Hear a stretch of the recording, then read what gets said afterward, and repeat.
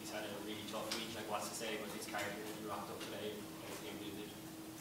Unbelievable, really, isn't it? Um, it's a, it's a, a mark of the, the character um, and the player. Um, you know, in, in, in my eyes, he's always been a class operator, um, and he's always been world class in his position, and, and you know, changed the game for in, in many ways for scrum halves, um, and uh, yeah, it just amazes me uh, that he could show up today, be so calm, um, and put in the performance that he did. Yeah.